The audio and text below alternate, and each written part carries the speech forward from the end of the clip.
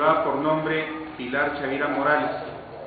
Él tenía 49 años de edad, su domicilio en el poblado de Saucillo, y quien fallece a consecuencia de traumatismo cráneoencefálico, y que esto sucedió el día de ayer aproximadamente a la una de la tarde con 30 minutos, cuando él se encontraba laborando en el interior de una mina que se ubica en el municipio de Ocampo.